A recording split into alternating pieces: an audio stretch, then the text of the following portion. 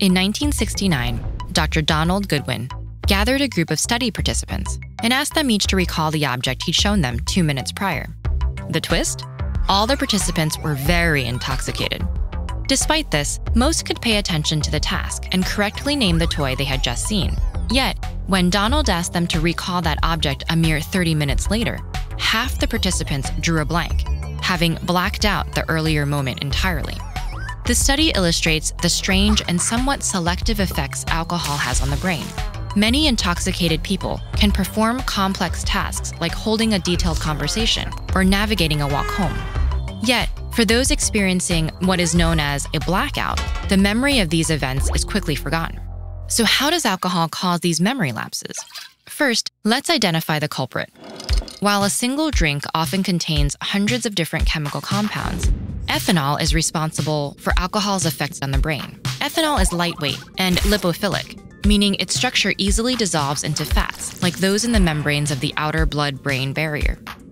Once inside the brain, ethanol's unique structure allows it to bind to, interact, and affect many different neuronal receptors, impairing pathways that allow you to make careful decisions, control your impulses, and even manage your motor skills. And the networks that control memory seem to be especially sensitive to alcohol's effects. Typically, information about your surroundings is taken in by your sensory organs and sent to the brain. Neurons transfer this information to one another via chemical messengers called neurotransmitters, which are released by one neuron and received by receptors at another. When a neurotransmitter binds to a receptor, it unlocks an internal channel, allowing small ions to flow into the cell. If enough ions enter the cell, the neuron fires, sending the signal forward. Through this process, different regions of the brain can communicate with one another in milliseconds, creating our moment to moment understanding of the world. But ethanol interacts with receptors, making it harder for neurons to communicate. While compromised, the brain is still able to transfer information, which is why many intoxicated people seem somewhat capable of performing basic tasks. In other words, brain function is highly impaired, but not completely broken. But memory storage is a different story. The transfer of moment to moment understanding to something we can remember is thought to depend on a process called long term potentiation, or LTP. LTP happens throughout the brain, but is especially important in learning and memory regions like the neocortex and the hippocampus. During LTP, the firing of a neuron triggers physical changes to its structure. For example, more receptors may be moved to the cell's surface, making the neuron more sensitive to future signaling from its neighbors. These physical changes increase the likelihood that a cell will fire again at that connection, strengthening the wiring between neurons. And through this stronger connection, it's thought that a stable memory is formed.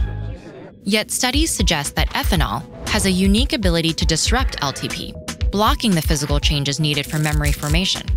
So while moment to moment information is encoded and understood, the storage of that information is blunted, resulting in a blackout. Of course, not all levels of drinking result in blackouts.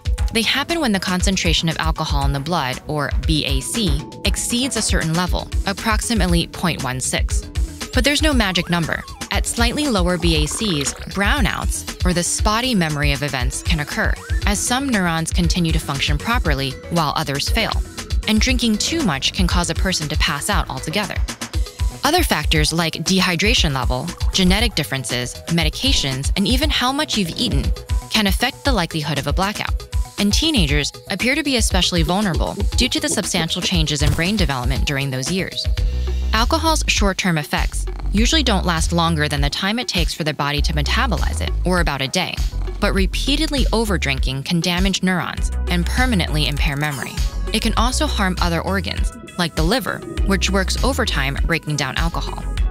After all, experiencing a blackout or witnessing others in this compromised state can be a lot for your mind and body to process.